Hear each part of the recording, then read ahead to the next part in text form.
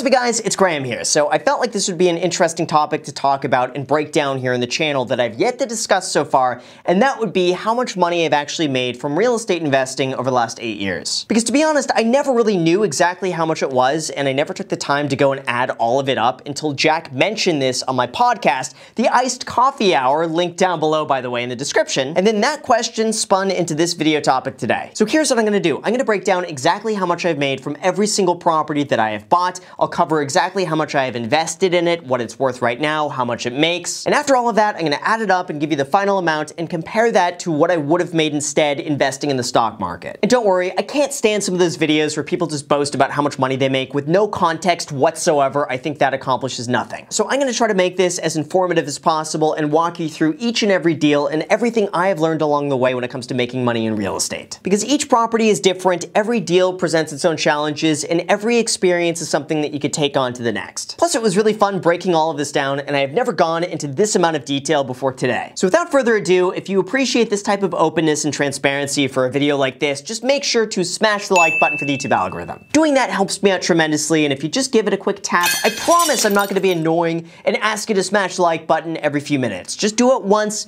that's a fair trade and I won't ask you again. So thank you very much for doing that. Both myself and the algorithm appreciate it. And also thank you to SimpliSafe for sponsoring this video, but more on that later. All right, let's talk about the first property. I bought a single family home in San Bernardino, California in 2012 for $59,500. Now here's the thing, generally in real estate, you're gonna make mistakes your first few deals no matter how far ahead you prepare yourself in advance, and this one was no exception. I made just about every mistake you could think of from start to finish, and here's a few examples. First of all, I paid cash for this home, which is always a big no-no when it comes to real estate. And even worse was that I had zero credit history by the time I went to a bank to try to get a loan. Now at the time, I was working as a real estate agent and saving as much money as I possibly could, and I just assumed that any bank would love to give me a loan because I had no debt and I had sufficient income and I assumed that should be enough, right? And the answer to that was no. Regardless of how much money you make or how much debt you have, banks want you to have an established credit history if they're going to give you a mortgage. Of which, of course, I had none, so I chose to deplete a big portion of my four years worth of savings just so I could go and buy this house. So step one, I should have got a credit card a lot sooner and started building up my credit history so I could have gotten a mortgage on this deal. The second, I picked the first tenants who offered to rent my place because I was too naive to go and dig further and research them to realize that he was getting evicted from the place he was currently living at. He was trying to evade taxes by running his income through his girlfriend's account. And their horrible credit score should have scared me away, but I was so nervous about money at the time that I decided against my better judgment just to go and rent to them because they were ready to move in immediately. Well, as I'm sure you would imagine, the guy was growing illegal stuff in the garage and he stopped paying his rent and he trashed the place after getting evicted. All in all, that experience cost me an entire year's worth of rent on that house. Fortunately though, I've learned my lesson from this and since then the house has consistently been rented to some really amazing people and since then here's how much money I've made from this deal. So like I mentioned, I bought the house for $59,500 as a bank-owned short sale at literally the bottom of the market in 2012. I then spent $12,000 fixing it up and making it livable and that means my total out-of-pocket cost and expense to own this home was $71,500. Now the home is worth about $290,000 in today's market. My net rental income has also averaged about $12,500 a year every single year since 2013 since that tenant was evicted. That means since 2013 I've made about $87,500 in net rental income. So if we go ahead and add everything up, I'm left with a total profit of $306,000 between home appreciation and net rental income over that time period. That also works out to be a total return of 527% all the way back since 2012. Next, the second home was purchased just after the first one in the same area as a bank-owned short sale, and that home was $72,000. See, back when I began investing in real estate, nearly everything that would come on the market would be known as what's called the short sale. This is what happens when the owner of a property has a mortgage for more than what the home is actually worth. So for instance, they might have a $200,000 mortgage on a home that's only worth $100,000 now. So usually the way it works is that when a seller is behind on their payments, they will put the property up for sale, they'll accept an offer, they'll send that offer to the bank with short sale approval, the bank will review the file, and they get back to the seller at some point in the future with a price that they would agree to sell the property for if the seller qualifies. Now, this second property was one of those offers, and I would write offers on pretty much everything that came up within like a two mile radius, and this one just happened to work out. And this one was really one of the best properties I have ever purchased because no joke,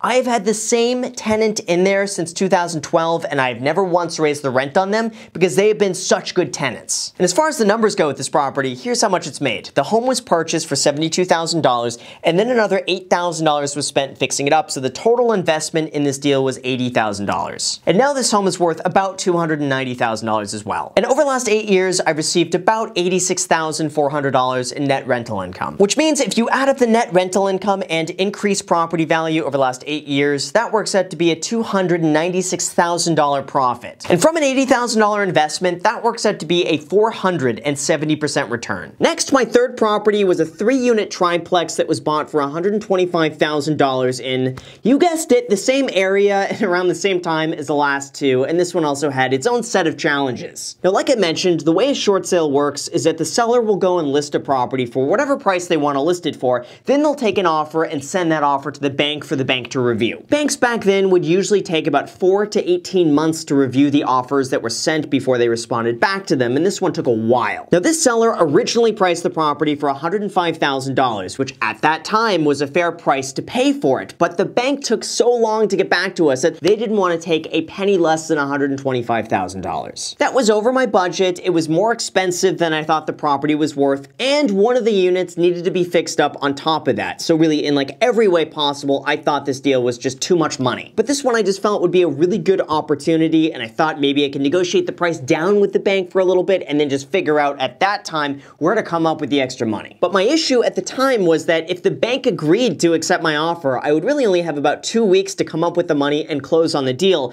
and that was money I didn't really have. So in preparation of maybe being able to close this deal and come to an agreement with the bank, I went and sold my dream car at the time, which is a 2006 Chrome Orange Lotus Elise. Now just for reference, by the time I sold my car, I had no idea if this deal was even going to be going through or not, or if we could come to an agreement on the price.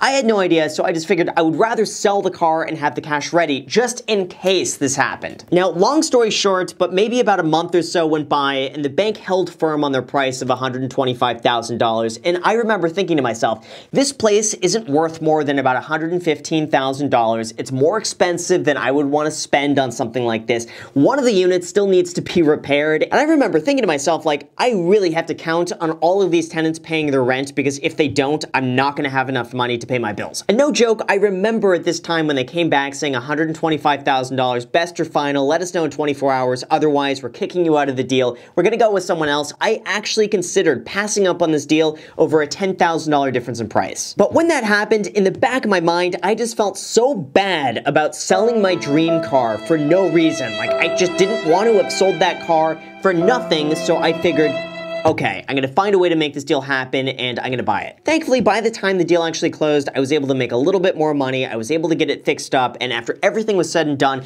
I rented out all three of the units for about $2,100 a month. And of course, here's how much money that deal has made now. This place was bought for $125,000 and then $15,000 was spent fixing it up, so the total investment here was $140,000. And right now, as of today, it's worth about $390,000. Then over the last eight years, it's made about $144,000 in net rental income after expenses, which means the total profit from this deal is $394,000 between home appreciation and net rental income. That also works out to be a 381% return over 8 years on a $140,000 investment. But we're just getting started on this one because these next properties were purchased with a mortgage at a much higher price point, and here's how much money those made. Although really quick, I want to thank our video sponsor today, SimpliSafe. They're an incredibly effective, reliable home security system that will make sure your home is safe around the clock. You could order it online or over the phone, it's delivered right to your door, and you could set it up yourself in under an hour. And I am definitely not the most handy person when it comes to setting anything up, but this was so easy and very fun to do myself without any hardware, without any tools. And from there, your home is professionally monitored 24-7, so if anything happens or the system is alerted to anything, they'll make sure the police get called. I've tested this out myself to make sure it works, and yeah,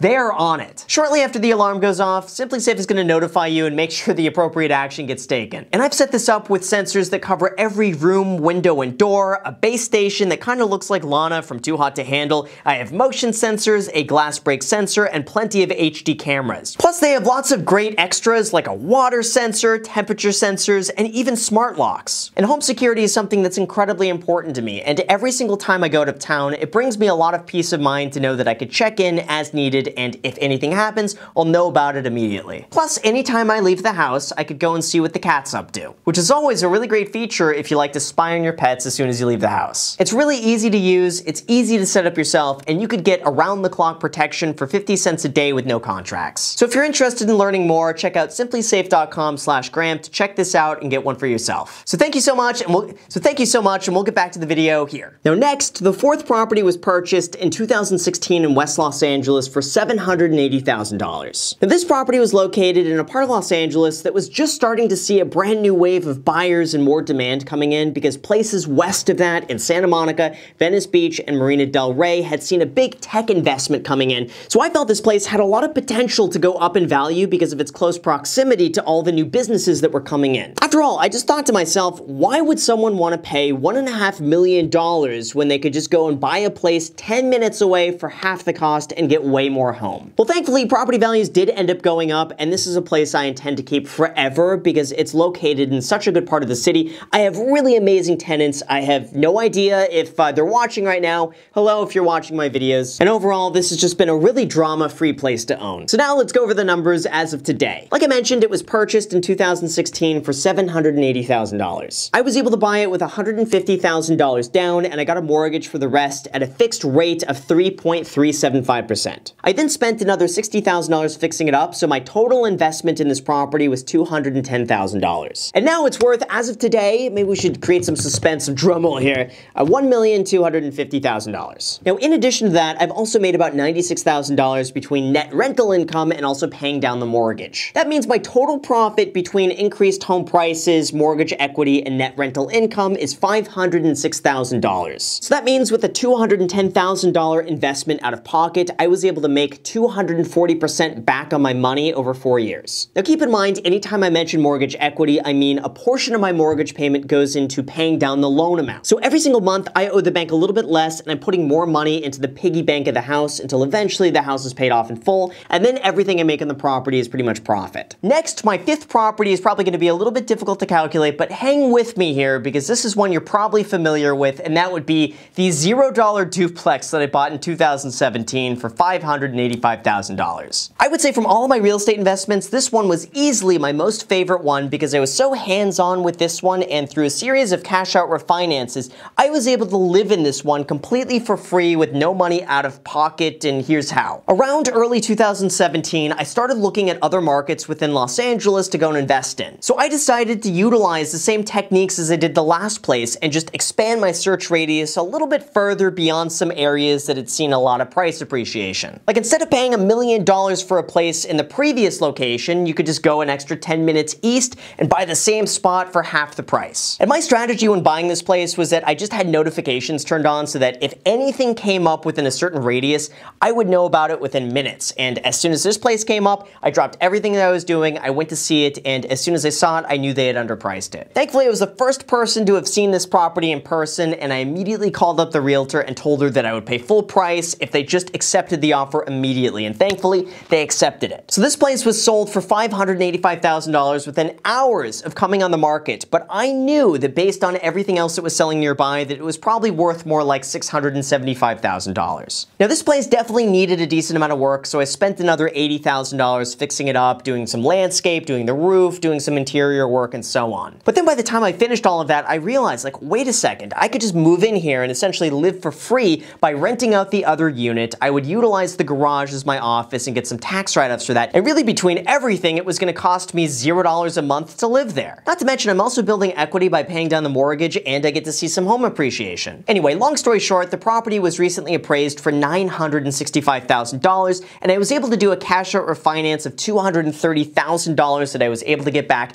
completely tax-free, which covered all the money I had originally invested in the property. So at this point, I had absolutely none of my own money invested anymore in the deal, and I was still able to live there for free. I also recently renovated the unit next to that that to the tune of $140,000. But doing that ended up increasing the property's value and I was able to rent out the unit next to me for way more money than I was getting previously and I ended up getting more money from my own unit by the time I moved out. So now at this time, my total out-of-pocket cost to own this place is $140,000. Now this was a bit complicated to calculate exactly how much my return was over the last three years because I was living there, but here's my calculation. I bought it for $585,000 with a $150,000 down payment. I then spent an additional $80,000 fixing it up, so my total out-of-pocket cost to own this place is $230,000. Then I was able to do two cash-out refinances over the last two years to lower the mortgage rate and take money out of the property, so now that $230,000 I was able to get back. But after all of that, just recently I spent another $140,000 fixing up the unit next to me. So now my total out-of-pocket cost on this property is $140,000, but now it's worth about $1.2 million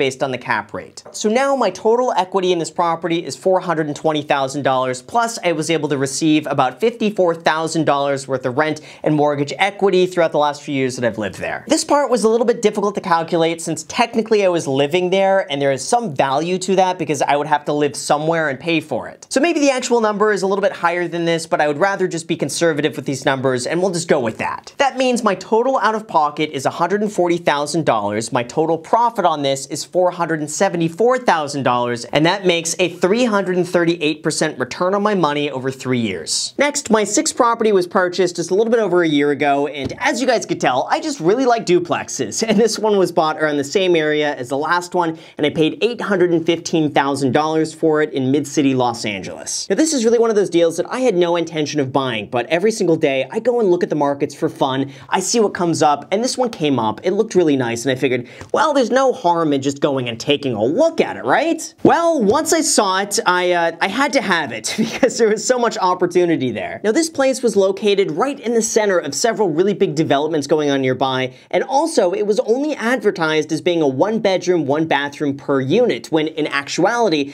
it was a one bedroom, one and a half bathroom, plus a den that could easily be called a second bedroom. So with really just a weekend's worth of work, this could easily be a two bedroom, two bathroom, and each unit could rent $600 a month more than what they thought. And that's really $1,200 a month worth of extra value that no one would know about until they saw it in person. Unfortunately though, there's a lot of competition to buy this place because chances are if you see something online and you really like it, at least a dozen other people are thinking the exact same thing. So I crunched the numbers on this one and it was listed at $835,000 and I felt for the right person they would probably pay more like $900,000 just to get it. But I knew for myself, for this deal to make sense to me, I would have to pay no more than $835,000 max. Sure enough, I wrote my offer at $835,000 and they were in multiple offers and they ended up picking an offer close to $900,000. But thankfully, something magically worked out about a month later because that buyer fell out of escrow and they came back to me and long story short, I ended up getting the property for $835,000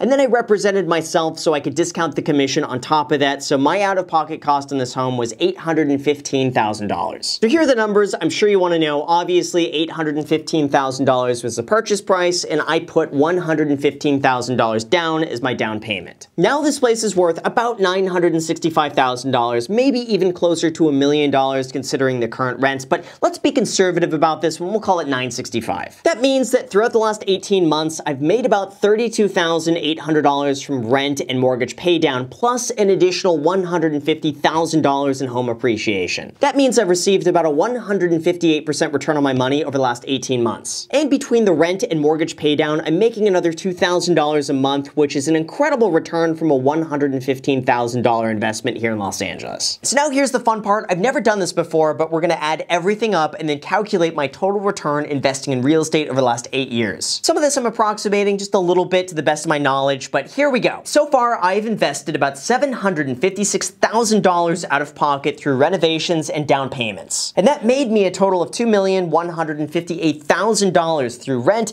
property appreciation, and mortgage equity paydown. That works out to be just under $270,000 a year on average in profit from real estate investing. That also works out to be an averaged out total return of 285% for my real estate investing from 2012 to today. Now, obviously, most of that money was invested between 2016 and 2019, but again, that's my average for everything. Now, in terms of cash flow from this, my net return between rents and mortgage equity paydown is about $9,400 a month. So on that $756,000 out-of-pocket investment, it works out to be a 14.92% return on my money, not accounting for home appreciation on top of that. Now, doing this has made me significantly more money than I would have made just investing in the S&P 500 index fund, but with a few caveats. One, real estate is a leveraged investment, meaning I only need a small amount of money and then the bank will loan me the rest to buy a property, meaning that my returns are a lot higher than they would be otherwise. Now two, real estate is a lot of work. This was not a passive investment by any means until it's rented out, but even then, it still requires a little bit of work on my end. All of these deals took me a considerable amount of time to try to find, renovate, rent out, and work on, so it's a little bit unfair to compare that return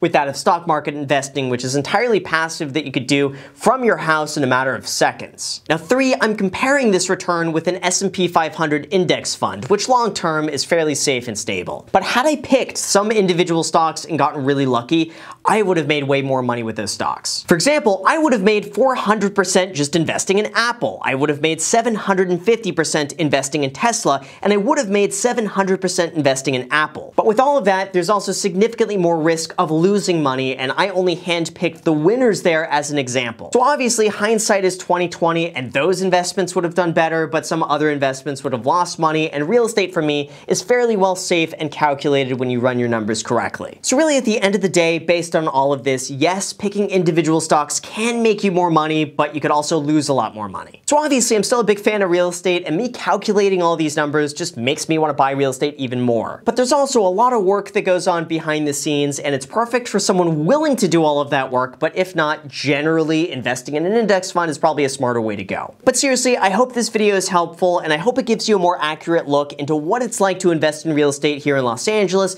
fix up properties and then rent them out, and what those returns can look like if you put in the work. And of course, again, thank you so much to SimpliSafe for sponsoring this video. So with that said, you guys, thank you so much for watching. I really appreciate it. As always, make sure to, I gotta say it, Smash the like button, subscribe, hit the notification bell. Also, feel free to add me on Instagram. I post there pretty much daily, so if you want to be a part of it there, feel free to add me there. Also, my second channel, The Graham Stephan Show, I post there every single day. I'm not posting here, so if you want to see a brand new video from me every single day, make sure to add yourself to that. And then finally, if you guys want two free stocks, use the link down below in the description, and Webull is going to be giving you two free stocks when you deposit $100 on the platform, with one of those stocks potentially worth all the way up to $1,400. So if you want your two free stocks, use that link down below. Let me know which two free stocks you get. Thank you so much for watching, and until next time.